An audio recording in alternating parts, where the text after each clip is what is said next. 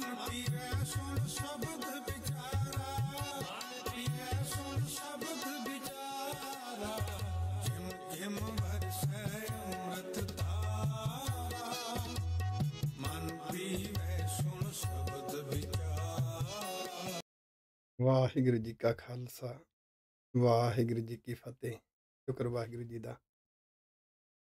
ਸਹਜੇ ਸਹਜੇ ਅਰਥਾਂ ਸਮੇਤ ਸਹਿਜ ਪਾਠ ਕਰਦੇ ਹਾਂ। ਅੱਜ ਦੀਦਾਰ ਕਰ ਰਹੇ ਹਾਂ। ਸ੍ਰੀ ਗੁਰੂ ਗ੍ਰੰਥ ਸਾਹਿਬ ਜੀ ਦੇ ਪਾਵਨ ਅੰਗ 323 ਦੇ ਉੱਪਰ ਅੰਕਿਤ। ਗੌੜੀ ਰਾਗ ਚੱਲ ਰਿਹਾ ਹੈ। ਗੌੜੀ ਰਾਗ ਦੇ ਵਿੱਚ ਦੋ ਵਾਰਾਂ ਨੇ ਇੱਕ ਗੁਰੂ ਰਾਮਦਾਸ ਸਾਹਿਬ ਜੀ ਦੀ ਉਚਾਰਨ ਕੀਤੀ ਹੋਈ ਹੈ। ਦੂਸਰੀ ਵਾਰ ਗੁਰੂ ਅਰਜਨ ਦੇਵ ਪਾਤਸ਼ਾਹ ਜੀ ਦੀ ਹੈ। ਇਸ ਵਾਰ ਦੇ ਵਿੱਚ 21 ਪੌੜੀਆਂ ਨੇ। ਸਾਰੇ ਦੇ ਸਾਰੇ ਸ਼ਲੋਕ ਗੁਰੂ ਅਰਜਨ ਪਾਤਸ਼ਾਹ ਜੀ ਦੇ ਹਨ। 19 ਪੌੜੀਆਂ ਦੇ ਵਿਚਾਰ ਆਪਾਂ ਕੱਲ ਤੱਕ ਕੀਤੀ ਸੀ, ਅੱਜ 20ਵੀਂ ਪੌੜੀ ਦੀ ਵਿਚਾਰ ਸ਼ੁਰੂ ਹੋ ਰਹੀ ਹੈ। ਸ਼ਲੋਕ ਮਹੱਲਾ ਪੰਜਵਾਂ, ਪੰਚਮ ਪਾਤਸ਼ਾਹ ਧੰਨ ਗੁਰੂ ਅਰਜਨ ਦੇਵ ਸਾਹਿਬ ਜੀ ਮਹਾਰਾਜ। ਉਹਨਾਂ ਦਾ ਇਹ ਸ਼ਲੋਕ ਹੈ, ਤੰਦੜੇ ਕੋਲਾ ਚੇਤਨਾ ਆਵੈ ਏਕੜੋ ਏਕੜੋ ਇੱਕ, ਜੋ ਇੱਕ ਪ੍ਰਭੂ ਦੀ ਮਿੱਠੀ ਮਿੱਠੀ ਯਾਦ ਅੰਦਰ ਨਹੀਂ ਉਹਦੀ ਮਿੱਠੀ ਮਿੱਠੀ ਯਾਦ ਦਾ ਸਿਮਰਨ ਰਸ ਨਹੀਂ। ਵਾਹਿਗੁਰੂ ਜੀ ਦੀ ਭੈ ਭਾਵਨੀ ਵਿੱਚ ਫੈਸਲੇ ਲੈਣ ਦੀ ਮਤ ਦੇ ਅੰਦਰ ਸੋਝੀ ਨਹੀਂ। ਰੱਬੀ ਉਪਦੇਸ਼ਾਂ ਨੂੰ ਫੋਲੋ ਕਰਨ ਦਾ, ਰੱਬੀ ਨਿਜ਼ਮ ਨੂੰ ਫੋਲੋ ਕਰਨ ਦਾ ਕੋਈ ਚਾਹੋ ਜਜ਼ਬਾ ਸੋਝੀ ਨਹੀਂ। ਤੇ ਉਹ ਵਾਹਿਗੁਰੂ ਜੀ ਦੀ ਯਾਦ ਤੋਂ ਬਿਨਾ, ਉਸ ਪ੍ਰਭੂ ਦੀ ਯਾਦ ਤੋਂ ਬਿਨਾ, ਇਹ ਮਨ ਜਿੰਨੇ ਕਰਮ ਕਰ ਰਿਹਾ, ਮਤ ਜਿੰਨੇ ਕਰਮ ਕਰ ਰਹੀ ਹੈ, ਇਹ ਸਾਰੇ ਉਹ ਧੰਦੇ ਨੇ ਕੁਲਾ ਉਹ ਲਾ ਲਾ ਹੁੰਦਾ ਲਾਹਾ। ਉਹ ਅੱਗੇ ਲੱਗ ਗਿਆ, ਘਾਟੇ ਵਾਲੇ ਨੇ, ਇਹਦੇ ਵਿੱਚ ਫਾਇਦਾ ਨਹੀਂ ਮਿਲਣ ਵਾਲਾ। ਰੱਬ ਤੋਂ ਵਿਛੜ ਕੇ ਜਿੰਨੇ ਕਾਰਜ ਮਨੁੱਖ ਕਰਦਾ ਏ, ਉਹ ਸਾਰੇ ਦੇ ਸਾਰੇ ਇਹਦੀ ਜ਼ਿੰਦਗੀ ਵਿੱਚ ਚਿੰਤਾਵਾਂ, ਦੁੱਖ ਇਹਦੇ ਅੰਦਰ ਪੈਦਾ ਕਰਦੇ ਨੇ ਇਹ ਉਲਝਦਾ ਜਾਂਦਾ ਉਹਦੇ ਚ। ਨਾਨਕ, ਸੇਈ ਤਨ ਫੁਟਨ ਨਾਨਕ ਸੇਈ ਤਨ ਫੁਟਨ ਜਿਨ੍ਹਾਂ ਸਾਈਂ ਵਿਸਰੈ ਜਿਨ੍ਹਾਂ ਨੂੰ ਸਾਈਂ ਮਾਲਕ ਪ੍ਰਭੂ ਜੀ ਵਿਸਰ ਗਏ ਜਿਨ੍ਹਾਂ ਦੇ ਅੰਦਰ ਉਹਦੀ ਯਾਦ ਨਹੀਂ। ਇਹ ਨਾਨਕ ਜੀ, ਉਹ ਸਰੀਰ ਫੁੱਟ ਗਿਆ ਹੈ। ਭਾਵ ਉਹਦੇ ਅੰਦਰ ਪਾਪ ਪ੍ਰਵਿਰਤੀਆਂ ਪੈਦਾ ਹੋ ਜਾਂਦੀਆਂ ਨੇ। ਉਹ ਜੀਵਨ ਸਫਲ ਨਹੀਂ ਹੁੰਦਾ। ਹਰ ਪਾਸੇ ਤੋਂ ਫੇਲ ਹੁੰਦਾ ਜਾਂਦਾ ਹੈ। ਮਹੱਲਾ ਪੰਜਵਾਂ ਅਗਲਾ ਸ਼ਲੋਕ, ਪੰਚਮ ਪਾਤਸ਼ਾਹ ਜੀ ਦਾ, ਪ੍ਰੇਤੋਂ ਕੀਤੋਂ ਦੇਵਤਾ ਤਿਨ ਕਰਨਾ ਹਾਰਾ। ਪ੍ਰਭੂ ਜੀ ਕਰਨਹਾਰ ਨੇ। ਉਹਨਾਂ ਦੇ ਕੋਲ ਸ਼ਕਤੀਆਂ ਨੇ, ਸਰਬ ਸਮਰੱਥ ਹੈ। ਕੋਈ ਵੀ ਕਾਰਨ ਵਰਤਾ ਸਕਦੇ ਨੇ, ਜਦੋਂ ਕੋਈ ਰੱਬੀ ਉਪਦੇਸ਼ਾਂ ਨੂੰ ਮੰਨਦਾ ਏ, ਤਾਂ ਜਿਹੜੀ ਪ੍ਰੇਤ ਪ੍ਰਵਿਰਤੀ ਹੈ ਮਨੁੱਖ ਦੇ ਅੰਦਰ, ਭੂਤ ਪ੍ਰਵਿਰਤੀ, ਮਾੜੀਆਂ ਪ੍ਰਵਿਰਤੀਆਂ, ਦੂਜੇ ਦੇ ਨਾਲ ਧੋਖਾ ਕਰਨ ਦੀਆਂ ਪ੍ਰਵਿਰਤੀਆਂ, ਦੂਜੇ ਨੂੰ ਦੁੱਖ ਦੇਣ ਦੀਆਂ ਪ੍ਰਵਿਰਤੀਆਂ ਇਹ ਦੂਰ ਹੋ ਜਾਂਦੀਆਂ ਨੇ ਤੇ ਦੇਵਤਾ ਪ੍ਰਵਿਰਤੀ ਪੈਦਾ ਹੋ ਜਾਂਦੀ ਹੈ। ਦੇਵੀ ਗੁਣਾ ਨੂੰ ਵਰਤਣਾ ਤੇ ਗੁਣਾ ਨਾਲ ਪਰਉਪਕਾਰ ਕਰਨਾ।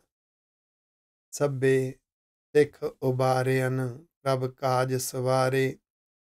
ਪ੍ਰਭੂ ਜੀ, ਉਹਨਾਂ ਦੇ ਕਾਰਜ ਸਵਾਰਦੇ ਨੇ, ਜਿਨ੍ਹਾਂ ਦੇ ਅੰਦਰ ਰੱਬ ਦੀ ਮਿੱਠੀ ਮਿੱਠੀ ਯਾਦ ਦਾ ਸਿਮਰਨ ਰਸ ਤੇ ਉਹਦੀ ਭੈ ਭਾਵਨੀ ਵਿੱਚ ਫੈਸਲੇ ਲੈਣ ਦੀ ਯੁਗਤ ਹੈ। ਜਿਨ੍ਹਾਂ ਆਪਣੇ ਗੁਰੂ ਤੋਂ ਸੋਚ ਸੁਭਾਅ ਨੂੰ ਸੰਵਾਰਨਾ, ਸ਼ਿੰਗਾਰਨਾ ਸਿੱਖਿਆ, ਉਹ ਸਾਰੇ ਹੀ ਸਿੱਖ ਬਚ ਗਏ ਉਹਨਾਂ ਪਾਪ ਪ੍ਰਵਿਰਤੀਆਂ ਤੋਂ। ਉਹਨਾਂ ਦੇ ਇਸ ਮਾਰਗ ਤੇ ਤੁਰਨ ਦੇ ਕਾਰਜ ਰਾਸ ਆ ਗਏ। ਨਿੰਦਕ ਪਕੜ ਪਛਾੜਿਆਨ ਝੂਠੇ ਦਰਬਾਰੇ, ਜਿਹੜੇ ਨਿੰਦਕ ਨੇ ਨਾ, ਉਹ ਇਸ ਮਾਰਗ ਤੇ ਨਹੀਂ ਤੁਰ ਸਕਦੇ।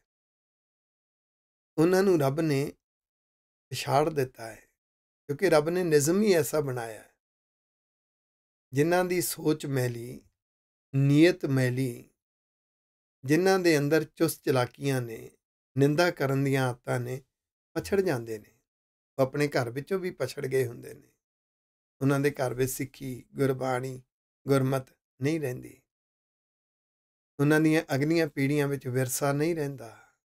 ਗੁਰੂ ਦੀ ਵਿਰਾਸਤ ਨਹੀਂ ਰਹਿੰਦੀ ਪਛੜ ਜਾਂਦੇ ਨੇ। ਜਿਹੜੇ ਪੈਸੇ ਪ੍ਰਾਪਰਟੀ ਦੇ ਲੋਭ ਵਿੱਚ ਸਾਰੀ ਜ਼ਿੰਦਗੀ ਲਾਉਂਦੇ ਨੇ ਉਹਦੇ ਨਾਲ ਚਿੰਤਾ ਸਹੇੜ ਲੈਂਦੇ ਨੇ, ਕਿਉਂਕਿ ਰੱਬ ਦੇ ਦਰਬਾਰ ਵਿੱਚ, ਰੱਬ ਦੀਆਂ ਨਜ਼ਰਾਂ ਦੇ ਵਿੱਚ ਉਹ ਪਛਾੜੇ ਗਏ ਨੇ ਵਿਛੜ ਗਏ ਨੇ। ਨਾਨਕ ਕਾ ਪ੍ਰਭ ਵੱਡਾ ਹੈ, ਆਪ ਸਾਜ ਸਵਾਰੇ। ਨਾਨਕ ਦਾ ਪ੍ਰਭੂ। ਦੁਨੀਆ ਦੇਵਤਿਆਂ ਨੂੰ ਪ੍ਰਭੂ ਕਹਿੰਦੀ ਸੀ, ਅਵਤਾਰਾਂ ਨੂੰ ਪ੍ਰਭੂ ਕਹਿੰਦੀ ਸੀ। ਕੋਈ ਮੱਛੀ ਨੂੰ ਪ੍ਰਭੂ ਕਹਿੰਦਾ ਸੀ, ਕੋਈ ਬ੍ਰਿਕਸ਼ਾਂ ਨੂੰ ਪ੍ਰਭੂ ਮੰਨ ਕੇ ਪੂਜਦੇ ਸੀ, ਰੱਬ ਮੰਨ ਕੇ ਪੂਜਦੇ ਸੀ। ਇਦਾਂ ਵੱਖ-ਵੱਖ ਤਰ੍ਹਾਂ ਦੀਆਂ ਪੂਜਾਵਾਂ ਸਨ। ਪਰ ਨਾਨਕ ਦਾ ਪ੍ਰਭੂ, ਉਹ ਇੱਕ ਓੰਕਾਰ ਹੈ, ਸਭ ਤੋਂ ਵੱਡਾ ਹੈ। ਦੁਨੀਆ ਉਸ ਨੂੰ ਨਾ ਸਮਝਣ ਕਰਕੇ ਛੋਟੀਆਂ-ਛੋਟੀਆਂ ਸ਼ਕਤੀਆਂ ਨੂੰ ਪੂਜਣ ਲੱਗ ਪਈ। ਉਹ ਪ੍ਰਭੂ ਤਾਂ ਆਪ ਸਾਡੇ ਅੰਦਰ ਉਹਦੀ ਜੋਤ ਹੈ, ਉਹ ਸਾਨੂੰ ਸੰਵਾਰਦੇ ਨੇ, ਅੰਦਰੋਂ ਜ਼ਮੀਰ ਦੀ ਆਵਾਜ਼ ਰਾਹੀਂ ਦੱਸਦੇ ਨੇ। ਉਹ ਜੋ ਜ਼ਮੀਰ ਦੀ ਆਵਾਜ਼ ਰਾਹੀਂ ਪ੍ਰਭੂ ਦੱਸਦੇ ਨੇ ਉਹ ਸਾਰਾ ਗਿਆਨ ਹਰ ਵਰਤਾਰੇ ਵਿੱਚ ਛੁਪਿਆ ਪਿਆ ਹੈ। ਸਿੱਖਣਾ ਚਾਹੇ ਤਾਂ ਹਰ ਵਰਤਾਰੇ ਵਿੱਚੋਂ ਸਿੱਖ ਸਕਦਾ ਹੈ। ਗੁਰੂ ਸਾਹਿਬ ਨੇ ਕਿੰਨਾ ਔਖਾ ਕਰ ਦਿੱਤਾ। ਇਹ ਗਿਆਨ ਸੱਚਾ ਗਿਆਨ, ਰੱਬ ਸੱਚਾ ਗਿਆਨ ਬਣ ਕੇ ਗੁਰਬਾਣੀ ਦੇ ਰਚਨਹਾਰਿਆਂ ਦੇ ਅੰਦਰ ਗੂੰਜਿਆ। ਉਹਨਾਂ ਗੁਰਬਾਣੀ ਰਾਹੀਂ ਦੱਸਿਆ, ਸ੍ਰੀ ਗੁਰੂ ਗ੍ਰੰਥ ਸਾਹਿਬ ਜੀ ਦੇ ਅੰਦਰ ਉਹ ਪ੍ਰਭੂ ਦਾ ਰੂਪ ਹੈ ਸੱਚਾ ਗਿਆਨ।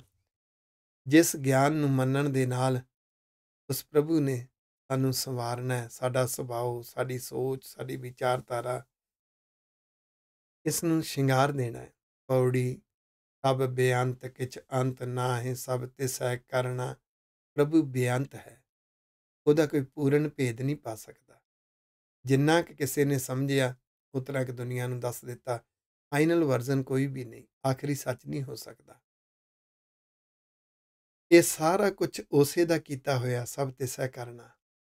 ਅਗੰਮ ਅਗੋਚਰ ਸਾਹਿਬ, ਜੀਆਂ ਕਾ ਪਰਣਾ। ਉਹ ਅਗੰਮ ਹੈ, ਪਹੁੰਚ ਤੋਂ ਪਰੇ। ਅਗੋਚਰ ਗਿਆਨ ਇੰਦਰੀਆਂ ਦੀ ਪਹੁੰਚ ਵਿੱਚ ਨਹੀਂ ਹੈ, ਮਾਲਕ ਹੈ ਸਾਰਿਆਂ ਦਾ। ਜੀਆਂ ਕਾ ਪਰਣਾ ਪਰਣਾ ਹੁੰਦਾ ਹੈ ਆਸਰਾ। ਸਭ ਨੂੰ ਉਹ ਪ੍ਰਭੂ ਦਾ, ਪ੍ਰਭੂ ਦੇ ਨਿਜ਼ਮ ਦਾ। ਉਹਦੀ ਬਣਾਈ ਹੋਈ ਕੁਦਰਤ ਦਾ, ਕੁਦਰਤ ਵਿੱਚ ਵਰਤ ਰਹੇ ਨਿਜ਼ਮਾਂ ਦਾ ਹੀ ਆਸਰਾ ਹੈ। ਕੁਦਰਤ ਤੋਂ ਬਿਨਾ ਤੇ ਕੁਦਰਤ ਦੇ ਨਿਜ਼ਮਾਂ ਤੋਂ ਬਿਨਾ ਕੋਈ ਵੀ ਜਿਉ ਨਹੀਂ ਸਕੇਗਾ ਉਸੇ ਦਾ ਆਸਰਾ ਹੈ ਹਸਤ ਦੇ ਪ੍ਰਤਪਾਲ ਦਾ ਭਰਨ ਪੋਖਣ ਕਰਨਾ ਫਿਰ ਉਹ ਆਪਣੇ ਬਣਾਏ ਹੋਏ ਨਿਜ਼ਮ ਰਾਹੀਂ ਇਸ ਕੁਦਰਤ ਰਾਹੀਂ ਹਰ ਇੱਕ ਨੂੰ ਭਰਨ ਪੋਖਣ ਪਾਲਣ ਪੋਸ਼ਣ ਖਾਣ ਪੀਣ ਇਸ ਕੁਦਰਤ ਰਾਹੀਂ ਦਿੰਦਾ ਹੈ ਜਿਹਦੇ ਨਾਲ ਇਹ ਸਰੀਰ ਤੇ ਜੀਵਨ ਚੱਲਦਾ ਹੈ ਉਹ ਹੱਥ ਦੇ ਕੇ ਰੱਖਦਾ ਹੈ ਸਾਰਿਆਂ ਨੂੰ ਮਿਹਰਬਾਨ ਬਖਸ਼ਿੰਦੇ ਆਪ ਜਪ ਸੱਚੇ ਤਰਨਾ ਮਿਹਰਬਾਨ ਹੈ, ਮਿਹਰ ਕਰਦੇ ਨੇ। ਬਖਸ਼ਿਸ਼ ਕਰਦੇ ਨੇ। ਭਾਵਨਾ ਸ਼ੁੱਧ ਹੋ ਜਾਵੇ ਨਾ, ਉਹ ਪਿਛਲਾ ਜੀਵਨ ਨਹੀਂ ਦੇਖਦੇ। ਗੁਰੂ ਬਾਬੇ ਨੇ ਇਹ ਨਹੀਂ ਦੇਖਿਆ, ਠੱਗ ਨੇ ਕਿੰਨੀਆਂ ਠੱਗੀਆਂ ਮਾਰੀਆਂ ਨੇ। ਉਹਨੇ ਇਹ ਦੇਖਿਆ, ਸੱਜਣ ਦੇ ਅੰਦਰ ਹੁਣ ਸੋਚ ਜਿਹੜੀ ਹੈ, ਉਹਦਾ ਹਿਰਦਾ ਪਿੰਗਲ ਚੁੱਕਿਆ ਹੈ। ਬਖਸ਼ਿਸ਼ ਨੇ, ਬਖਸ਼ਿੰਦ ਨੇ, ਗੁਰੂ ਸਾਹਿਬ ਵੀ ਤੇ ਵਾਹਿਗੁਰੂ ਜੀ ਵੀ। ਜਿਨ੍ਹਾਂ ਨੇ ਉਸ ਨੂੰ ਜਪਿਆ, ਰੱਬੀ ਉਪਦੇਸ਼ਾਂ ਨੂੰ ਮੰਨਣਾ ਗਿਆਨ ਰੂਪੀ ਨਾਮ ਨੂੰ ਜਪਣਾ ਹੈ। ਉਹਦੀ ਮਿੱਠੀ ਮਿੱਠੀ ਯਾਦ ਦੇ ਸਿਮਰਨ ਰਸ ਵਿੱਚ ਜਿਉਣਾ, ਉਹਦੀ ਭੈ ਭਾਵਨੀ ਵਿੱਚ ਫੈਸਲੇ ਲੈਣੇ, ਧਿਆਨ ਰੂਪੀ ਨਾਮ ਨੂੰ ਜਪਣਾ ਹੈ। ਤੇ ਉਹਦੇ ਨਿਜ਼ਮ ਨੂੰ ਫੋਲੋ ਕਰਨਾ ਵੀ ਰੱਬ ਨੂੰ ਜਪਣਾ ਹੈ। ਜਿਨ੍ਹਾਂ ਨੇ ਜਪਿਆ, ਉਹ ਬਚ ਗਏ। ਉਹਨਾਂ ਜੀਵਨ ਨੂੰ ਮੈਨੇਜ ਕਰ ਲਿਆ। ਸੋਚਾਂ, ਵਿਚਾਰਾਂ ਨੂੰ ਮੈਨੇਜ ਕਰਨਾ ਸਿੱਖ ਲਿਆ।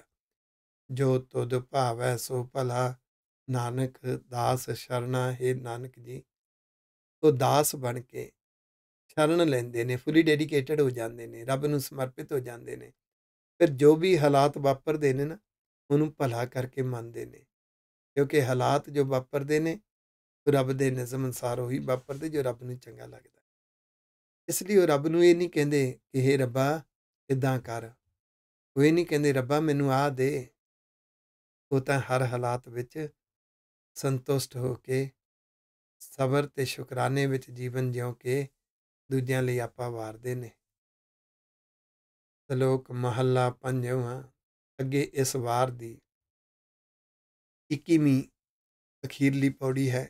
ਇਹਦੇ ਨਾਲ ਦੋ ਸ਼ਲੋਕ ਗੁਰੂ ਅਰਜਨ ਪਾਤਸ਼ਾਹ ਜੀ ਦੇ ਹਨ। ਸ਼ਲੋਕ ਮਹੱਲਾ ਪੰਜਵਾਂ, ਪੰਜਵੇਂ ਪਾਤਸ਼ਾਹ ਦਾ ਸ਼ਲੋਕ ਹੈ, ਤਿੰਨਾ ਭੁੱਖ ਨਾ ਕਾ ਰਹੀ, ਜਿਸ ਦਾ ਪ੍ਰਭ ਹੈ ਸੋਏ। ਜਿਨ੍ਹਾਂ ਦਾ ਪ੍ਰਭੂ ਆਸਰਾ ਹੈ ਜਿਹੜੇ ਆਪਣੇ ਮਾਲਕ ਪ੍ਰਭੂ ਨੂੰ ਸਮਰਪਿਤ ਹੋ ਜਾਂਦੇ ਨੇ, ਉਹਦੇ ਚਾਕਰ ਬਣ ਜਾਂਦੇ ਨੇ।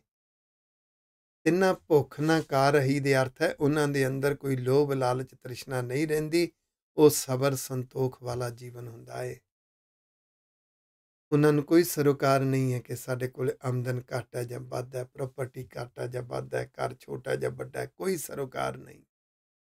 ਕਿਉਂਕਿ ਉਹਨਾਂ ਨੂੰ ਸਬਰ, ਸੰਤੋਖ ਵਿੱਚ ਦੂਜਿਆਂ ਲਈ ਜਿਉਣਾ ਆ ਗਿਆ। ਉਹ ਆਪਾ ਵਾਰਦੇ ਨੇ। ਆਪਣੇ ਪ੍ਰਭੂ ਦੀ ਚਾਕਰੀ ਕਰਦੇ ਆ ਆਪਣੇ ਗੁਰੂ ਪਿਤਾ ਦੀ ਚਾਕਰੀ ਕਰਦੇ ਆ ਤੇ ਗੁਰੂ ਕੀ ਗੁਰਸਿੱਖਾਂ ਦੀ, ਸਿੱਖ ਕੌਮ ਦੀ ਚਾਕਰੀ ਕਰਦੇ ਨਾਨਕ ਚਰਣੀ ਲੱਗੇ ਆ ਉਧਰੈ ਸਭੋ ਕੋਏ। ਇਹ ਨਾਨਕ ਜੀ, ਜਿਹੜੇ ਵੀ ਰੱਬ ਦੇ ਚਰਨੀ ਲੱਗਦੇ ਨੇ, ਰੱਬ ਦੇ ਚਰਨ, ਰੱਬ ਦੇ ਗੁਣ ਨੇ, ਰੱਬ ਦੇ ਉਪਦੇਸ਼ ਨੇ, ਰੱਬੀ ਉਪਦੇਸ਼ ਤੇ ਰੱਬ ਦੇ ਗੁਣ ਰੱਬ ਦੇ ਚਰਨ ਨੇ। ਚਰਨਾਂ ਨਾਲ ਲੱਗਣ ਦੇ ਅਰਥ ਹੈ ਗੁਣਾਂ ਨੂੰ ਜਿਉਣਾ, ਗੁਣਾਂ ਦਾ ਸ਼ੁਕਰਾਨਾ ਕਰਨਾ, ਗੁਣਾਂ ਨਾਲ ਪਰਪਕਾਰ ਕਰਨਾ। ਰੱਬੀ ਉਪਦੇਸ਼ ਨੂੰ ਪ੍ਰੈਕਟੀਕਲ ਮੰਨਣਾ ਤੇ ਹੋਰਨਾਂ ਨੂੰ ਵੰਡਣਾ, ਇਹਨੂੰ ਕਹਿੰਦੇ ਨੇ ਚਰਨੀ ਲੱਗਣਾ। ਜਿਹੜੇ ਵੀ ਰੱਬ ਦੇ ਗੁਣਾਂ ਨੂੰ ਜ਼ਿੰਦਗੀ 'ਚ ਜਿਉਂ ਕੇ ਸ਼ੁਕਰਾਨੇ ਵਜੋਂ ਹੋਰਨਾਂ ਲਈ ਵਰਤਦੇ ਨੇ ਪਰਪਕਾਰ ਕਰਦੇ ਨੇ, ਤੇ ਜਿਹੜੇ ਵੀ ਰੱਬੀ ਉਪਦੇਸ਼ਾਂ ਨੂੰ ਜ਼ਿੰਦਗੀ 'ਚ ਪ੍ਰੈਕਟੀਕਲ ਜਿਉਂ ਕਿ ਹੋਰਨਾਂ ਨੂੰ ਵੰਡਦੇ ਨੇ, ਬਚ ਜਾਂਦੇ ਨੇ, ਉਧਰ ਹੈ ਸਭ ਕੋਈ ਸਾਰੇ ਹੀ ਬਚ ਜਾਂਦੇ ਨੇ ਉਹ। ਮਹੱਲਾ ਪੰਜਵਾਂ, ਜਾਚਕ ਮੰਗੈ ਨਿਤ ਨਾਮ, ਸਾਹਿਬ ਕਰੇ ਕਬੂਲ। ਪੰਚਮ ਪਾਤਸ਼ਾਹ ਦਾ ਸ਼ਲੋਕ ਹੈ, ਜਿਹਨੂੰ ਜਾਚਕ ਬਣਨਾ ਆ ਗਿਆ। ਰੱਬ ਦਾ ਚਾਕਰ ਬਣਨਾ ਆ ਗਿਆ, ਆਪਣੇ ਗੁਰੂ ਪਿਆਰੇ ਦਾ ਚਾਕਰ ਬਣਨਾ ਆ ਗਿਆ। ਉਹ ਚਾਕਰ ਬਣ ਕੇ ਜਦੋਂ ਮੰਗਦਾ ਹੈ, ਉਹ ਐਸਾ ਮੰਗਦਾ ਹੈ, ਉਹ ਤਾਂ ਨਾਮ ਮੰਗਦਾ ਹੈ, ਨਿਤ। ਉਹ ਤੇ ਹਰ ਪਲ ਮੰਗਦਾ ਹੈ ਵਾਹਿਗੁਰੂ ਜੀ, ਤੁਹਾਡੇ ਨਿਜ਼ਮ ਨੂੰ ਫੋਲੋ ਕਰਾਂ। ਉਹ ਤਾਂ ਹਰ ਪਲ ਮੰਗਦਾ ਹੈ ਵਾਹਿਗੁਰੂ ਜੀ, ਤੁਹਾਡੇ ਰੱਬੀ ਉਪਦੇਸ਼ਾਂ ਨੂੰ ਪ੍ਰੈਕਟੀਕਲ ਜਿਉਵਾਂ, ਗਿਆਨ ਰੂਪੀ ਨਾਮ ਨੂੰ ਜਪਾਂ, ਗਿਆਨ ਰੂਪੀ ਨਾਮ ਮੰਗਦਾ ਹੈ। ਉਹ ਤਾਂ ਹਰ ਪਲ ਮੰਗਦਾ ਹੈ ਵਾਹਿਗੁਰੂ ਜੀ, ਤੁਹਾਡੀ ਮਿੱਠੀ ਮਿੱਠੀ ਯਾਦ ਦੇ ਸਿਮਰਨ ਰਸ ਵਿੱਚ ਪੈ ਭਾਵਨੀ ਵਿੱਚ ਫੈਸਲੇ ਲਵਾਂ। ਜਿਹੜੇ ਇਸ ਦਾਤ ਨੂੰ ਮੰਗਦੇ ਨੇ ਨਾ, ਸਾਹਿਬ ਕਰੇ ਕਬੂਲ ਫਿਰ ਮਾਲਕ ਕਬੂਲ ਕਰਦਾ, ਪ੍ਰਵਾਨ ਕਰਦਾ ਇਸ ਮੰਗ ਨੂੰ। ਨਾਨਕ, ਪਰਮੇਸ਼ਰ ਜਜਮਾਨ ਤੇ ਸੈ ਭੁੱਖ, ਨਾ ਮੂਲ ਇਹ ਨਾਨਕ ਜੀ। ਜਿਨ੍ਹਾਂ ਨੇ ਪਰਮੇਸ਼ਰ ਨੂੰ, ਪ੍ਰਭੂ ਨੂੰ ਜਜਮਾਨ ਮੰਨ ਲਿਆ, ਜਜਮਾਨ ਹੁੰਦਾ ਦਾਨ ਦੇਣ ਵਾਲਾ। ਇਹ ਹਿੰਦੂ ਵੀਰਾਂ ਵਿੱਚੋਂ ਸ਼ਬਦ ਆਇਆ। ਹਿੰਦੂ ਵੀਰਾਂ ਵਿੱਚ ਜਦੋਂ ਪੰਡਿਤ ਪੂਜਾ ਪਾਠ ਕਰਦਾ ਹੁੰਦਾ ਸੀ, ਤੇ ਪੂਜਾ ਪਾਠ ਦੇ ਇਬਜ਼ਾਨੇ ਵਿੱਚੋਂ ਲੋਕ ਉਸ ਨੂੰ ਦਾਨ ਦਿੰਦੇ ਸੀ।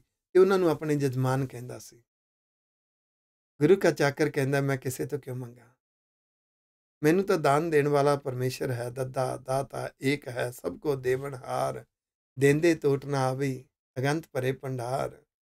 ਉਹ ਤਾਂ ਹਰ ਵੇਲੇ ਦੇਈ ਜਾ ਰਿਹਾ ਹੈ, ਅਣ ਮੰਗਿਆ ਦਾਨ ਦੇਮ ਦਾ ਬਿਨਾਂ ਮੰਗੇ ਤੋਂ ਦੇਈ ਜਾ ਰਿਹਾ ਉਹ ਤਾਂ ਬਿਨ ਬੋਲਿਆ ਸਭ ਕੁਝ ਜਾਣਦਾ ਕਿ ਸਾਗਾ ਕੀਚਾ ਅਰਦਾਸ। ਜਿਸ ਨੂੰ ਇਹ ਗੱਲ ਸਮਝ ਆ ਗਈ ਕਿ ਮੈਨੂੰ ਤੇ ਦਾਨ ਬਖਸ਼ਿਸ਼ਾਂ ਦੇਣ ਵਾਲੇ ਪਰਮਾਤਮਾ ਆਪ ਨੇ ਉਹਨਾਂ ਨੂੰ ਸਭ ਪਤਾ ਹੈ। ਫਿਰ ਭੁੱਖ ਨਾ ਮੂਲ, ਤੇ ਸਹਿ ਭੁੱਖ ਨਾ ਮੂਲ। ਉਹਨਾਂ ਦੇ ਅੰਦਰ ਨਾ ਕੋਈ ਮੰਗਣ ਦੀ ਇੱਛਾ, ਨਾ ਲੋਭ ਲਾਲਚ, ਨਾ ਤ੍ਰਿਸ਼ਨਾ, ਉਹ ਸਬਰ ਸੰਤੋਖ ਵਾਲੇ ਜੀਵਨ ਹੁੰਦੇ ਨੇ। ਪੌੜੀ, ਮਨ ਰਤਾ, ਗੋਬਿੰਦ ਸੰਗ, ਸੱਚ ਭੋਜਨ ਜੋੜੇ, ਜਿਨ੍ਹਾਂ ਦਾ ਮਨ ਗੋਬਿੰਦ ਪ੍ਰਭੂ ਦੇ ਪਿਆਰ ਵਿੱਚ ਭਿੱਜ ਗਿਆ। ਉਹਨਾਂ ਨੂੰ ਸੱਚ ਦੀ ਖੁਰਾਕ ਮਿਲ ਜਾਂਦੀ ਹੈ। ਸੱਚ ਗੁਣ ਨੇ। ਗੁਣਾ ਵਾਲਾ ਜੀਵਨ ਉਸ ਜਿਉਣਾ, ਗੁਣਾ ਨਾਲ ਪਰਪਕਾਰ ਕਰਨਾ ਤੇ ਉਸ ਗੁਣਾ ਦਾ ਸ਼ੁਕਰਾਨਾ ਕਰਨਾ, ਇਹ ਰਸ ਸੱਚ ਦੀ ਖੁਰਾਕ ਹੈ। ਰੱਬੀ ਉਪਦੇਸ਼ ਨੂੰ ਮੰਨਣਾ ਤੇ ਸ਼ੁਕਰਾਨਾ ਕਰਨਾ ਸ਼ੁਕਰ ਹੈ। ਵਾਹਿਗੁਰੂ ਜੀ ਨੇ ਮੰਨਣ ਦੀ ਭਾਵਨਾ ਦਿੱਤੀ ਹੈ, ਇਹ ਰਸ ਸੱਚ ਦੀ ਖੁਰਾਕ ਹੈ। ਇਹਦੇ ਨਾਲ ਜੀਵਨ ਦਾ ਸਤਕਾਰ ਬਣਦਾ ਹੈ, ਜੀਵਨ ਸਫਲ ਹੁੰਦਾ ਹੈ, ਸੇਵਾ ਨਿਭਦੀ ਹੈ। ਇਹ ਪੁਸ਼ਾਕ ਹੈ, ਜੋੜੇ ਦੇ ਅਰਥ ਹੈ ਪੁਸ਼ਾਕ। ਮਿਲਦੀ ਕਿਨਾਂ ਨੂੰ? ਜਿਨ੍ਹਾਂ ਦਾ ਮਨ ਗੋਬਿੰਦ ਦੇ ਪ੍ਰਭੂ ਦੇ ਪਿਆਰ ਵਿੱਚ ਭਿੱਜਿਆ ਹੁੰਦਾ ਰੰਗਿਆ ਹੁੰਦਾ ਪ੍ਰੀਤ ਲੱਗੀ ਹਰ ਨਾਮ ਸਿਉ, ਇਹ ਹਸਤੀ ਘੋੜੇ। ਜਿਨ੍ਹਾਂ ਦਾ ਮਨ ਗੋਬਿੰਦ ਪ੍ਰਭੂ ਦੇ ਪਿਆਰ ਵਿੱਚ ਭਿੱਜਿਆ ਹੁੰਦਾ ਹੈ, ਉਹਨਾਂ ਦੀ ਪ੍ਰੀਤ ਹਰੀ ਦੇ ਨਾਮ ਨਾਲ ਲੱਗਦੀ ਹੈ। ਉਹਨਾਂ ਨੂੰ ਉਸ ਪ੍ਰਭੂ ਦੇ ਬਣਾਏ ਹੋਏ ਨਿਯਮ ਨੂੰ ਫੋਲੋ ਕਰਨਾ ਬੜਾ ਚੰਗਾ ਲੱਗਦਾ ਉਹਨਾਂ ਨੂੰ ਰੱਬੀ ਉਪਦੇਸ਼ਾਂ ਅਨਸਾਰ ਜੀਵਨ ਜਿਉਣਾ ਹੀ ਜ਼ਿੰਦਗੀ ਦਾ ਅਸਲੀ ਸਵਾਦ ਰਸ ਲੱਗਦਾ ਹੈ। ਵਾਹਿਗੁਰੂ ਜੀ ਦੀ ਮਿੱਠੀ ਮਿੱਠੀ ਯਾਦ ਦੇ ਸਿਮਰਨ ਰਸ ਵਿੱਚ ਜਿਉਂਦੇ ਨੇ। ਇਹੋ ਹੀ ਉਹਨਾਂ ਲਈ ਹਾਥੀ ਘੋੜੇ ਨੇ। ਦੁਨੀਆ ਕਹਿੰਦੀ ਸਾਡੇ ਕੋਲ ਫੈਸਿਲਿਟੀ ਹੋਵੇ, ਸਾਡੇ ਕੋਲ ਇੰਨਾ ਕੁਝ ਹੋਵੇ, ਦੁਨੀਆ ਤੇ ਪ੍ਰਭਾਵ ਪਵੇ, ਉਹਨਾਂ ਜ਼ਮਾਨਾ 'ਚ ਹਾਥੀ ਘੋੜੇ ਰੱਖਦੇ ਸੀ। ਗੁਰੂ ਕੇ ਗੁਰਸਿੱਖ ਨੂੰ ਐਸੇ ਵਿਖਾਵੇ ਦੀ ਲੋੜ ਨਹੀਂ। ਨਾ ਐਸੀਆਂ ਛਾਵਾਂ ਦੀ ਲੋੜ ਹੈ, ਉਹਨਾਂ ਦੇ ਲਈ ਹਾਥੀ ਘੋੜੇ, ਉਹ ਪ੍ਰਭੂ ਦੀ ਪ੍ਰੀਤ ਹੀ ਹੈ। ਰਾਜ, ਮਿਲਖ, ਖੁਸ਼ੀਆਂ, ਘਣੀ, ਧਿਆਏ, ਮੁਖ ਨਾ ਮੋੜੇ। ਫਿਰ ਉਹ ਹੌਲੀ ਹੌਲੀ ਮਨੁੱਖ ਪਹਿਲਾਂ ਕਹਿੰਦਾ ਪੈਸਾ ਹੋਵੇ, ਫਿਰ ਪੈਸੇ ਦਾ ਪ੍ਰਭਾਵ ਹੋਵੇ, ਚੰਗਾ ਮਹਿਲ ਹੋਵੇ, ਹਾਥੀ ਘੋੜੇ ਹੋਣ, ਫਿਰ ਮੇਰੇ ਕੋਲ ਰਾਜ ਹੋਵੇ, ਮਿਲਖ, ਖੁਸ਼ੀਆਂ ਲਾ ਲਸ਼ਕਰ ਹੋਵੇ ਮੇਰੇ ਕੋਲੇ, ਮੇਰਾ ਹੁਕਮ ਚੱਲਦਾ ਹੋਵੇ, ਮੇਰੇ ਚਾਰ ਸਪੇਰੇ ਖੁਸ਼ੀਆਂ ਹੀ ਖੁਸ਼ੀਆਂ ਹੋਣ। ਪਰ ਪ੍ਰਭੂ ਦਾ ਚਾਕਰ ਕਹਿੰਦਾ ਏ, ਮੇਰਾ ਮੁਖ ਗੁਰੂ ਤੋਂ ਦੂਜੇ ਪਾਸੇ ਨਾ ਜਾਵੇ। ਮੈਂ ਪ੍ਰਭੂ ਦੇ ਮਾਰਗ ਤੋਂ ਦੂਜੇ ਪਾਸੇ ਨਾ ਹਟਾਂ, ਇਹੀ ਉਹਦੇ ਕੋਲੇ ਰਾਜ ਮਿਲਖ ਖੁਸ਼ੀਆਂ ਨੇ। ਢਾਡੀ ਦਰ ਪ੍ਰਭ ਮੰਗਣਾ ਦਰ ਕਦੇ ਨਾ ਛੋੜੇ। ਰੱਬ ਦਾ ਢਾਡੀ ਮੰਗਦਾ ਹੈ, ਢਾਡੀ ਬਣ ਜਾਂਦਾ ਹੈ। ਮੰਗਦਾ ਹੈ? ਕੀ ਮੰਗਦਾ ਹੈ? ਨਾਮ ਮੰਗਦਾ ਹੈ। ਸ੍ਰੇਸ਼ਟ ਵਤ ਮੰਗਦਾ ਹੈ। ਉਹਦਾ ਦਰ ਕਦੇ ਨਹੀਂ ਛੱਡਦਾ। ਜੈਸੇ ਮਰਜ਼ੀ ਹਾਲਾਤ ਹੋਣ, ਹਾਲਾਤਾਂ ਵਿੱਚ ਉਹਦੀ ਜੂਝਦਾ ਕੋਈ ਸਹਿਯੋਗ ਦੇਵੇ, ਕੋਈ ਵਿਰੋਧ ਕਰੇ, ਕੋਈ ਵਡਿਆਈ ਕਰੇ, ਕੋਈ ਨਿੰਦਾ ਕਰੇ ਉਤਰਦੇ ਰਹਿੰਦੇ ਨੇ ਆਪਣੇ ਮਿਸ਼ਨ ਤੇ। ਅਗਾਹ ਕੋ ਤਰਾਂਗ ਪਿਛਾਂ ਫੇਰ ਨਾ ਮੋੜੜਾ ਉਹ ਕਦੀ ਮੁਖ ਨਹੀਂ ਮੋੜਦੇ। ਰੱਬ ਉਹਨਾਂ ਲਈ ਰਾਹ ਖੋਲਦਾ ਹੈ। ਜਿਹੜੇ ਪਰਪਕਾਰੀ ਨੇ ਪਰਪਕਾਰ ਦੇ ਮਿਸ਼ਨ ਤੋਂ ਨਹੀਂ ਹਟਦੇ। ਚਾਹੇ ਕੋਈ ਨਿੰਦਾ ਕਰੇ, ਵਿਰੋਧ ਕਰੇ, ਰੁਕਾਵਟਾਂ ਖੜੀਆਂ ਕਰੇ। ਆਪਣੇ ਮਿਸ਼ਨ ਤੇ ਤੁਰੇ ਰਹਿੰਦੇ ਨੇ। ਅੱਗੇ ਵਧਦੇ ਰਹਿੰਦੇ ਨੇ। ਉਹਨਾਂ ਦੇ ਅੰਦਰ ਇੱਕ ਜਜ਼ਬਾ ਹੁੰਦਾ ਹੈ, ਆਪਾ ਵਾਰਨ ਦੀ ਭਾਵਨਾ ਹੁੰਦੀ ਹੈ। ਆਖਰੀ ਪੰਕਤੀ, ਨਾਨਕ, ਮਨ ਤਨ ਚਾਹੋਏ ਨਿਤ ਪ੍ਰਭ ਕਹ ਲੋੜੇ ਹੈ ਨਾਨਕ ਜੀ, ਜਿਨ੍ਹਾਂ ਦੇ ਮਨ ਵਿੱਚ, ਤਨ ਦੇ ਅਰਥ ਜੀਵਨ ਵਿੱਚ, ਅੰਦਰ ਭਾਵਨਾਵਾਂ, ਜਜ਼ਬਿਆਂ, ਵਿਚਾਰਾਂ, ਸੋਚਾਂ ਵਿੱਚ ਇਹ ਚਾਹ ਹੁੰਦਾ ਹੈ। ਉਹ ਨਿਤ ਪ੍ਰਭੂ ਨੂੰ ਲੋੜਦੇ ਨੇ। ਉਹ ਆਪਣੇ ਪਿਆਰੇ ਦੀ, ਗਲਵਕੜੀ ਦੇ ਆਨੰਦ ਰਸ ਵਿੱਚ ਜਿਉਣਾ ਚਾਹੁੰਦੇ ਨੇ। ਪਿਆਰੇ ਦੇ ਚਰਨ ਕਮਲਾਂ ਦੀ ਮੌਜ ਦੇ ਰਸ ਵਿੱਚ ਜਿਉਣਾ ਚਾਹੁੰਦੇ ਸ਼ੁੱਧ ਕੀਚੇ ਕੁਛ ਵਾਰਾਂ ਦੇ ਪਿੱਛੇ ਸ਼ੁੱਧ ਲਿਖਿਆ ਹੈ। ਸ਼ੁੱਧ ਉਹਦੇ ਸ਼ੁੱਧ ਕੀਚੇ, ਭਾਵੇਂ ਇਸ ਨੂੰ ਸੋਧ ਲੈਣਾ ਪ੍ਰੂਫ ਚੈੱਕ ਕਰ ਲੈਣਾ। ਗੁਰੂ ਅਰਜਨ ਦੇਵ ਪਾਤਸ਼ਾਹ ਜੀ ਲਿਖਾਉਂਦੇ ਸਨ, ਭਾਈ ਗੁਰਦਾਸ ਜੀ ਲਿਖਦੇ ਸੀ, ਫਿਰ ਪ੍ਰੂਫ ਚੈੱਕ ਕੀਤਾ ਜਾਂਦਾ ਸੀ। ਰਾਗ ਗੌੜੀ ਭਗਤਾਂ ਕੀ ਬਾਣੀ? ਹਰ ਰਾਗ ਦੇ ਵਿੱਚ ਇਹ ਸਮਿਟਰੀ ਹੈ ਇਹ ਵਾਰਾਂ ਤੋਂ ਬਾਅਦ ਅਖੀਰ ਦੇ ਉੱਪਰ ਭਗਤਾਂ ਦੀ ਬਾਣੀ ਆਉਂਦੀ ਹੈ। ਹੁਣ ਗੌੜੀ ਰਾਗ ਦੇ ਵਿੱਚ ਭਗਤਾਂ ਦੀ ਬਾਣੀ ਸ਼ੁਰੂ ਹੋ ਰਹੀ ਹੈ ਤੇ ਮੂਲ ਮੰਤਰ ਦਾ ਇੱਕ ਸੰਖੇਪ ਸਰੂਪ ਲਿਖਿਆ ਹੋਇਆ ਹੈ। ਇੱਕ ਓੰਕਾਰ, ਸਤਨਾਮ, ਕਰਤਾ ਪੁਰਖ ਗੁਰ ਪ੍ਰਸਾਦ ਵਾਹਿਗੁਰੂ ਜੀ ਇੱਕ ਹੈ। ਹਰ ਸਮੇਂ ਹਰ ਥਾਂ ਤੇ ਇੱਕ ਰਸ ਵਿਆਪਕ ਹੈ। ਉਹਦਾ ਨਾਮ ਸਦੀਵੀ ਹੈ। ਨਿਜ਼ਮ ਵੀ ਉਹਦਾ ਨਾਮ ਹੈ, ਨਿਜ਼ਮ ਨੂੰ ਫੋਲੋ ਕਰਨਾ, ਨਾਮ ਨੂੰ ਜਪਣਾ, ਉਹਦਾ ਨਿਜ਼ਮ ਸਦਾ ਚੱਲਦਾ ਰਹੇਗਾ ਸਦੀਵੀ ਹੈ, ਸਤ ਦੇ ਅਰਥ ਹੈ ਸਦੀਵੀ ਰੱਬੀ ਉਪਦੇਸ਼ ਗਿਆਨ ਰੂਪੀ ਨਾਮ ਹੈ, ਉਹਦੇ ਉਪਦੇਸ਼ ਵੀ ਸਦੀਵੀ ਨੇ, ਸਦਾ ਰਹਿਣਗੇ। ਉਹਦੀ ਮਿੱਠੀ ਮਿੱਠੀ ਯਾਦ ਦਾ ਸਿਮਰਨ ਰਸ। ਉਸ ਯਾਦ ਦੇ ਵਿੱਚ ਮਨ ਨੂੰ ਮਜ਼ਬੂਤੀ ਮਿਲਦੀ ਹੈ। ਪਿਆਰ ਵੱਧਦਾ ਹੈ। ਲਗਨ ਬਣਦੀ ਹੈ। ਇਹ ਵੀ ਸਦੀਵੀ ਹੈ ਕਰਤਾ ਪੁਰਖ ਉਹ ਐਸੀ ਸ਼ਕਤੀ ਹੈ ਸਭ ਕੁਝ ਉਸਨੇ ਪੈਦਾ ਕੀਤਾ ਹੈ ਕ੍ਰੀਏਟਰ ਹੈ ਉਹ ਗੁਰ ਪ੍ਰਸਾਦ ਉਹਦੇ ਜੇ ਰੱਬੀ ਉਪਦੇਸ਼ ਨੇ ਉਹ ਗੁਰ ਸਰੂਪ ਹੈ ਰੱਬ ਦਾ ਵੀ ਜੋ ਇੱਕ ਸਰੂਪ ਹੈ ਸੱਚਾ ਗਿਆਨ ਉਹ ਸੱਚਾ ਗਿਆਨ ਹੀ ਗੁਰੂ ਦਾ ਸਰੂਪ ਹੈ ਉਸ ਸੱਚੇ ਗਿਆਨ ਦਾ ਹੀ ਰੂਪ ਹੈ ਗੁਰ ਸਰੂਪ ਉਪਦੇਸ਼ ਤੇ ਗੁਰੂ ਦਾ ਵੀ ਉਹੀ ਰੂਪ ਹੈ ਉਸ ਨੇ ਕਿਰਪਾ ਕਰਨੀ ਹੈ, ਜਿੰਨਾ ਮੰਨਾਂਗੇ ਉਹਨਾਂ ਜੀਵਨ ਸੁਧਰੇਗਾ। ਗੌੜੀ ਗੁਹਾਰੇਰੀ ਸ੍ਰੀ ਕਬੀਰ ਜੀਓ ਕੇ ਚੌਪ ਦੇ 14 ਇਹ ਗੌੜੀ ਦੀ ਕਿਸਮ ਹੈ ਗੁਹਾਰੇਰੀ ਭਗਤ ਕਬੀਰ ਜੀ ਦੇ 14 ਚੌਪ ਦੇ ਨੇ ਇਸ ਤੋਂ ਬਾਅਦ। ਅਬ ਮੋਹਿ ਤੇ RAM ਜਲ ਪਾਇਆ। ਕਹਿੰਦੇ, ਹੁਣ ਮੈਂ ਉਸ ਪ੍ਰਭੂ ਦੇ ਨਾਮ ਦਾ ਜੋ ਰਸ ਹੈ, ਉਹਨੂੰ RAM ਜਲ ਕਿਹਾ ਇੱਕ ਹੁੰਦਾ ਬਾਣੀ ਪੜੀ ਰਸ ਨਹੀਂ ਆ ਰਿਹਾ।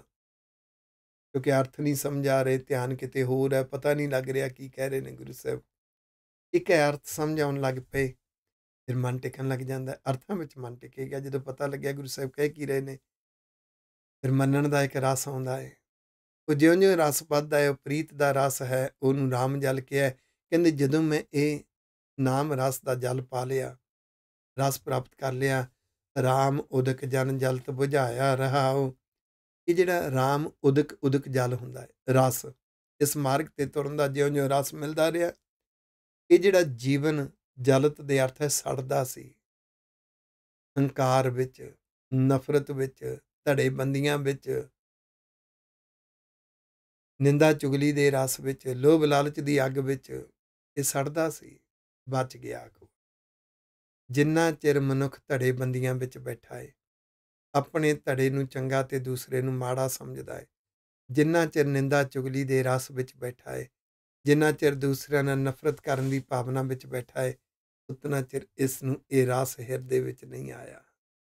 ਜਦੋਂ ਆ ਗਿਆ, ਤਨ ਜਲਤ ਬੁਝਾਇਆ ਇਹ ਜੀਵਨ ਸੜਦਾ ਬਲਦਾ ਬੁੱਝ ਜਾਂਦਾ ਹੈ ਖਵਾਈ ਜਿਹਨੂੰ ਕਿਹਾ ਤਪਤ ਕੜਾਹਾ ਬੁਝ ਗਿਆ ਗੁਰ ਸ਼ੀਤਲ ਨਾਮ ਦਿਓ।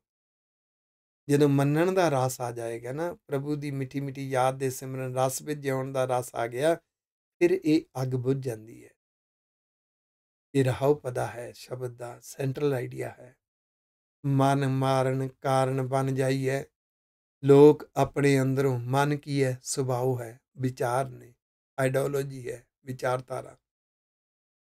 ਇਹਨੂੰ ਮਾਰਨ ਵਾਸਤੇ ਬਣਾ ਵਿੱਚ ਜਾਂਦੇ ਸੀ, ਜੰਗਲਾਂ 'ਚ ਜਾਂਦੇ ਸੀ ਨਾਸੀ ਲੋਕ। ਸੁਭਾਅ ਨਹੀਂ ਮਰਿਆ ਆਖੋ ਵਾਹਿਗੁਰੂ।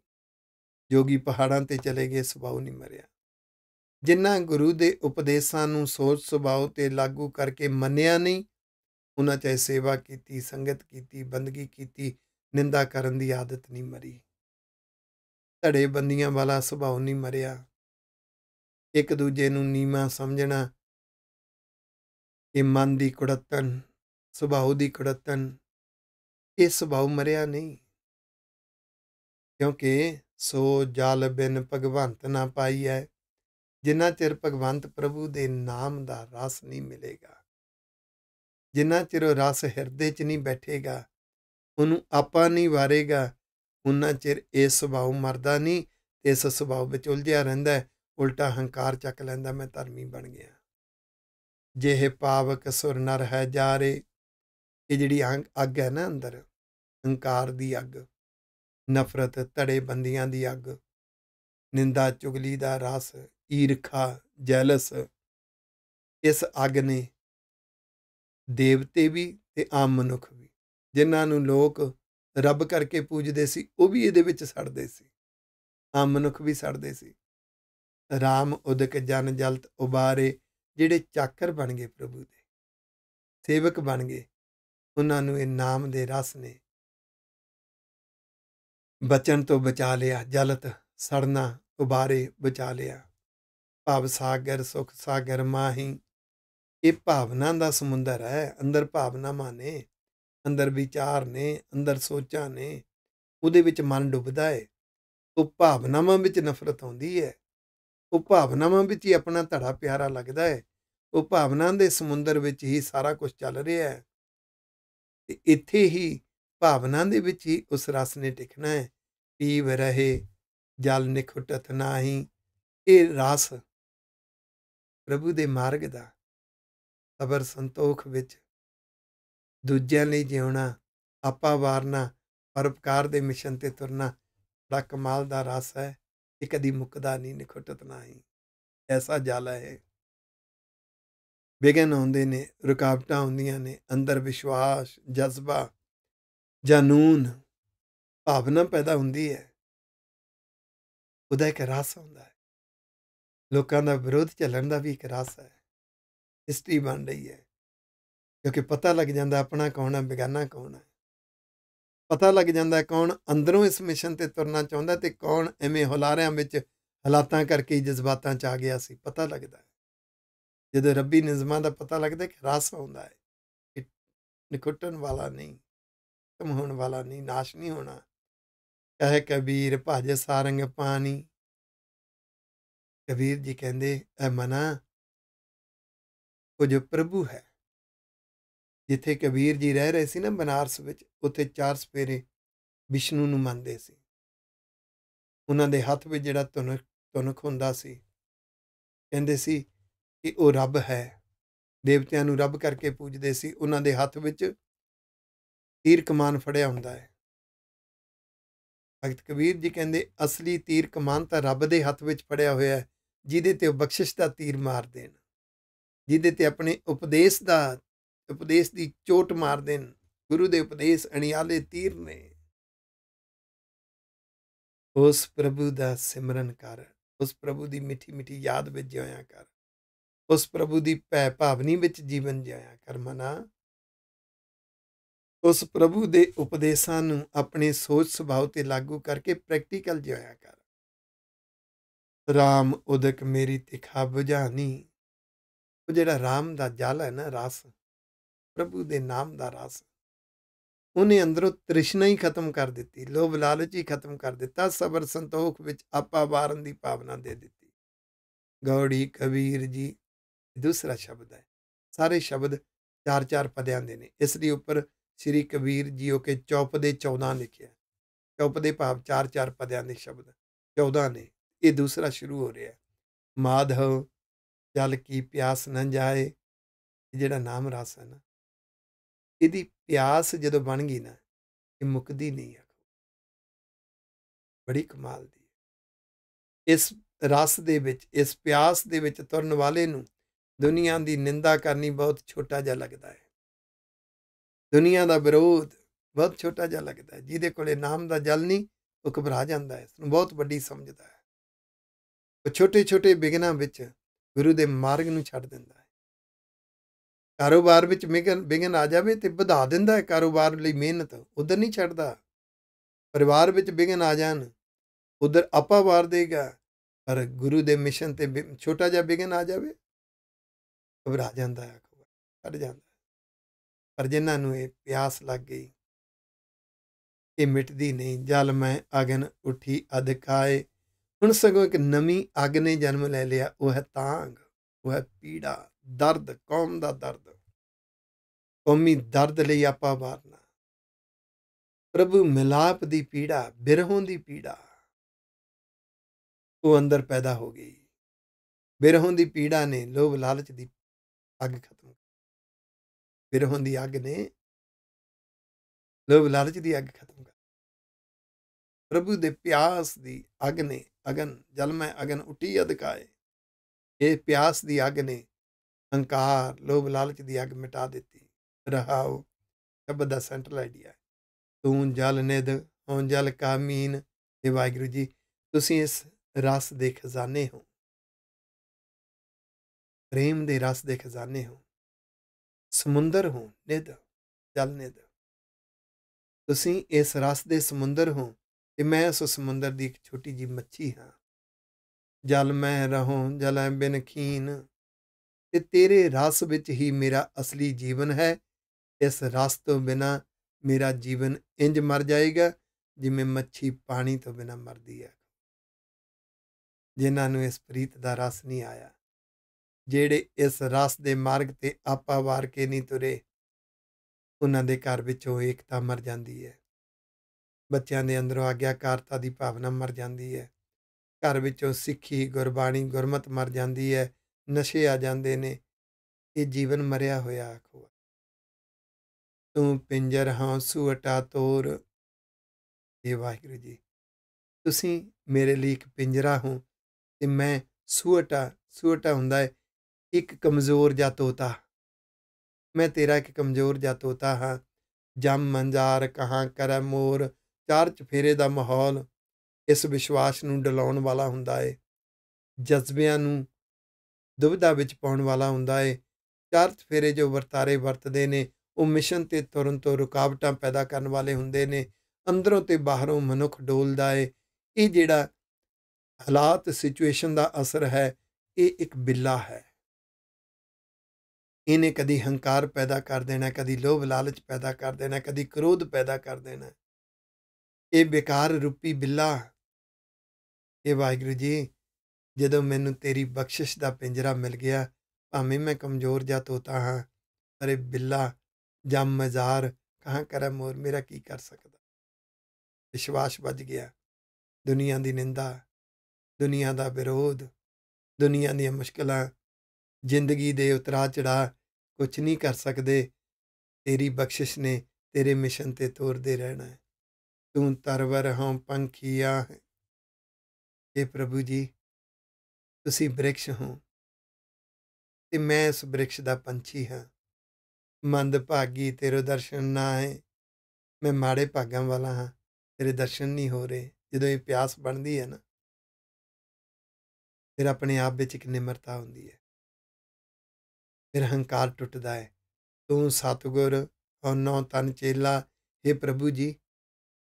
ਤੁਸੀਂ ਸੱਚਾ ਗਿਆਨ ਬਣ ਕੇ ਹਰ ਥਾਂ ਤੇ ਹੋ। ਤੇ ਮੈਂ ਇੱਕ ਨਵਾਂ ਚੇਲਾ ਹਾਂ। ਮੈਨੂੰ ਉਹ ਸਮਝ ਨਹੀਂ ਆ ਰਹੀ। ਇੱਥੇ ਨੋਟ ਕਰਿਓ, ਸਤਗੁਰ ਸ਼ਬਦ ਭਗਤ ਕਬੀਰ ਜੀ ਨੇ ਵਰਤਿਆ ਗੁਰੂ ਨਾਨਕ ਪਾਤਸ਼ਾਹ ਤੋਂ ਪਹਿਲਾਂ। ਸਤਗੁਰ, ਰੱਬ ਦਾ ਸੱਚਾ ਗਿਆਨ ਹੈ। ਰੱਬ ਸੱਚਾ ਗਿਆਨ ਬਣ ਕੇ ਹਰ ਵਰਤਾਰੇ ਵਿੱਚ ਹੈ। ਸਾਨੂੰ ਸਮਝ ਨਹੀਂ ਆਉਂਦੀ, ਸਾਨੂੰ ਸਿੱਖਣਾ ਨਹੀਂ ਆਉਂਦਾ, ਸਮਝਣਾ ਨਹੀਂ ਆਉਂਦਾ। ਉਹ ਸਾਰਾ ਸੱਚਾ ਗਿਆਨ ਗੁਰੂ ਗ੍ਰੰਥ ਸਾਹਿਬ ਜੀ ਦੇ ਅੰਦਰ ਹੈ ਤੇ ਅਸੀਂ ਅਰਥ ਸਿੱਖਣ ਤੋਂ ਕਮਜ਼ੋਰ ਰਹਿ ਜਾਂਦੇ ਹਾਂ। ਇਸੇ ਕਰਕੇ ਮੰਨਣ ਤੋਂ ਬਿਨਾ ਅਸੀਂ ਭਟਕਦੇ ਪਏ ਹਾਂ, ਧੜੇਬੰਦੀਆਂ ਵਿੱਚ ਫਸਦੇ ਪਏ ਹਾਂ। ਇਹ ਪ੍ਰਭੂ ਜੀ ਤੂੰ ਸੱਚਾ ਗਿਆਨ ਹੈ ਹਰ ਥਾਂ ਤੇ ਹੈ ਮੈਨੂੰ ਉਹ ਸੱਚੇ ਗਿਆਨ ਦੇ ਦਰਸ਼ਨ ਨਹੀਂ ਹੋ ਰਹੇ ਮੈਂ ਭਾਗਾ ਮੰਦ ਭਾਗਾ ਹਾਂ ਮੰਦ ਭਾਗੀ ਤੇਰੇ ਦਰਸ਼ਨ ਨਾ ਹੈ ਸੱਚਾ ਗਿਆਨ ਮੈਨੂੰ ਸਮਝਣਾ ਨਹੀਂ ਆਉਂਦਾ ਕਿਉਂਕਿ ਹੁਣ ਨੌ ਤਨ ਚੇਲਾ ਮੈਂ ਨਵਾਂ ਚੇਲਾ ਕਹੇ ਕਬੀਰ ਮਿਲ ਅੰਤ ਕੀ ਬੇਲਾ ਭਗਤ ਕਬੀਰ ਜੀ ਕਹਿੰਦੇ ਨੇ हे ਪ੍ਰਭੂ ਜੀ ਹੁਣ ਮੇਰੇ ਤੋਂ ਹੋਰ ਬਹੁਤਾ ਨਹੀਂ ਸਹਾਰਿਆ ਜਾਣਾ ਮੇਰੇ ਤੇ ਕਿਰਪਾ ਕਰ। ਜਦੋਂ ਮਨ ਵਿੱਚੋਂ ਬਿਲਕੁਲ ਹੰਕਾਰ ਟੁੱਟ ਜਾਵੇ, ਮਨ ਨਿਮਰਤਾ ਵਿੱਚ ਆ ਜਾਵੇ, ਫਿਰ ਆਪਣੇ ਆਪ ਨੂੰ ਨਿਰਬਲ ਸਮਝ ਕੇ ਰੱਬ ਨੂੰ ਸਮਰਪਿਤ ਹੋ ਜਾਵੇ ਤੇ ਬਖਸ਼ਿਸ਼ਾਂ ਸ਼ੁਰੂ ਹੁੰਦੀਆਂ ਨੇ। ਗੁਰੂ ਪਾਤਸ਼ਾਹ ਕਿਰਪਾ ਕਰਨ, ਹਰ ਗੁਰੂ ਕਾ ਗੁਰਸਿੱਖ ਪਰਪਕਾਰੀ ਬਣੇ। ਗੁਰਬਾਣੀ ਦੀਆਂ ਸਿੱਖਿਆਵਾਂ ਨੂੰ ਘਰ ਘਰ ਤੱਕ ਪਹੁੰਚਾਉਣ ਵਾਸਤੇ ਹਰ ਗੁਰਸਿੱਖ ਆਪਾ ਵਾਰੇ ਆਉਣ ਵਾਲੀ ਪੀੜ੍ਹੀ ਨੂੰ ਗੁਰੂ ਵਿਰਸੇ ਦਾ ਗਿਆਨ ਵੰਡਣ ਵਾਸਤੇ ਆਓ ਰਲ ਮਿਲ ਕੇ ਕਲੈਕਟਿਵ ਐਫਰਟਸ ਕਰੀਏ, ਸਮੂਹਿਕ ਯਤਨ। ਹਰ ਇੱਕ ਨੂੰ ਪ੍ਰੇਰਿਤ ਕਰੀਏ ਤਾਂ ਕਿ ਕਲੈਕਟਿਵ ਕੌਨਸ਼ੀਅਸਨੈਸ ਪੈਦਾ ਹੋਵੇ, ਸਮੂਹਿਕ ਚੇਤਨਾ ਪੈਦਾ ਹੋਵੇ। ਲੋੜ ਹੈ ਤੁਹਾਡੇ ਸਹਿਯੋਗ ਦੀ। ਆਪਣਾ ਸਹਿਯੋਗ ਦੇਣ ਵਾਸਤੇ ਸਾਡੇ ਨਾਲ ਸੰਪਰਕ ਕਰੋ। ਹੇਠਾਂ ਸਕਰੋਲਿੰਗ ਦੇ ਵਿੱਚ Gurgyan learning centre @gmail.com email ਹੈ। ਇਸ ਈਮੇਲ ਤੇ ਸੰਪਰਕ ਕਰ ਸਕਦੇ ਹੋ।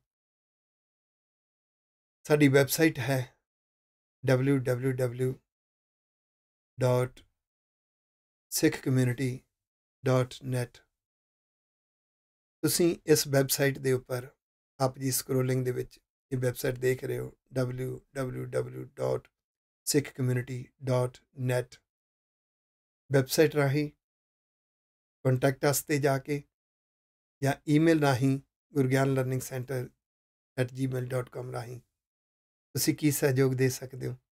ਸਾਡੇ ਨਾਲ ਸੰਪਰਕ ਕਰੋ ਤਾਂ ਕਿ ਰਲ ਮਿਲ ਕੇ ਇਸ ਲਹਿਰ ਨੂੰ ਹੋਰ ਵਧਾਈਏ, ਆਉਣ ਵਾਲੀ ਪੀੜ੍ਹੀ ਅੰਦਰ ਗੁਰੂ ਵਿਰਸੇ ਦਾ ਗਿਆਨ ਵੰਡੀਏ ਘਰ ਘਰ ਵਿੱਚ ਗੁਰਬਾਣੀ ਦਾ ਅਰਥਾਂ ਸਮੇਤ ਸਹਿਜ ਪਾਠ ਹਰ ਗੁਰਸਿੱਖ ਕਰੇ ਤਾਂ ਕਿ ਘਰ ਘਰ ਅੰਦਰ ਧਰਮਸ਼ਾਲ ਹੋਵੇ, ਕੀਰਤਨ ਸਦਾ ਬਸੋਆ ਦਾ ਸੁਪਨਾ ਸਾਕਾਰ ਹੋ ਸਕੇ।